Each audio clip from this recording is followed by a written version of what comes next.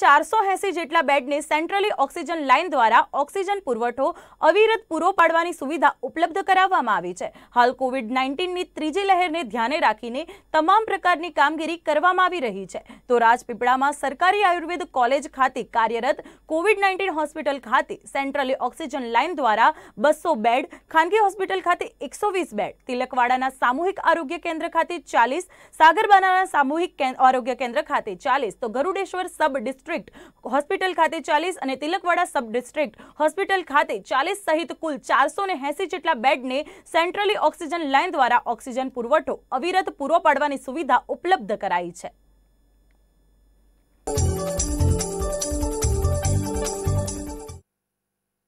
આજ રોજ આપણે સામૂહિક આરોગ્ય તિલક કરવા ખાતે ઓક્સિજન વીસ બેડની આપણે લાઈનો બધી તૈયાર કરી દીધા છે.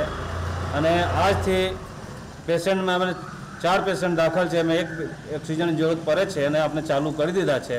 જેથી આપણે તિલકવાળા દવાખાનામાં આપણે ગામ જનતાને બધાને ઓક્સિજનની જરૂરત ના પડે. આપણે ત્યાં જમ્બો બોટલ બી ચાલીસ બોટલ આવી ગયેલા છે, જે આપણે જિલ્લા તરફથી આપવામાં આવેલ છે. અને ઓક્સિજન લાઇન બધી આપણે ચાલુ કરવામાં વીસ બેડની આપણે ચાલુ કરી દેવામાં આવ્યો છે. નર્મદા જિલ્લાના ઓક્સિજન પલકોની જે અમે વધારાની કામગીરી કરી રહ્યા છે તે વ્યક્તિને અમારા માનનીય કલેક્ટર શ્રી શાહ સાહેબની સૂચનાથી અ, સાગબરા અને તિલકવાડા બે સામૂહિક કેન્દ્રોમાં ચાલીસ ચાલીસ પલંગ અમે નવા ઓક્સિજન સેન્ટર ઓક્સિજન લાઇન સાથે તૈયાર કર્યા છે. દરેક સાહેબ સીએસસી ઉપર ચાલીસ જમ્બો ઓક્સિજન સિલિન્ડરની વ્યવસ્થા કરવામાં આવી છે.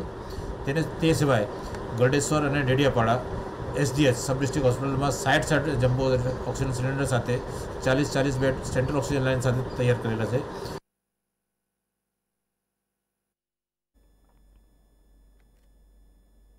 કોવિડ નાઇન્ટીનની વૈશ્વિક મહામારીને અનુલક્ષીને નર્મદા જિલ્લામાં પ્રવર્તમાન